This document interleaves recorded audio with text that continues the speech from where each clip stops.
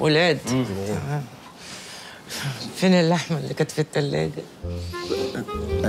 اتعشيت بيها أنا وعمر بالليل كنا جعانين. يا نهار أسود اتعشيتوا بخمسة كيلو لحمة؟ طب بالنسبة لكيس القوانص اللي أنا بحبها.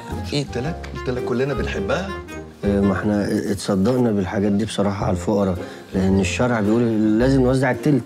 تلت اللحمة مش تلت ما نملك. أنا أتصرف إزاي دلوقتي؟ أأكل الجرمق ده منين؟ آه، اكليهم فسيخ ولا اكليهم رنجة. أقول لك لوني لهم بيض. بيض؟ هم أنا العيلة دي هتحب البيض أنا عارف. مو إحنا في شم النسيم؟ كنت القرف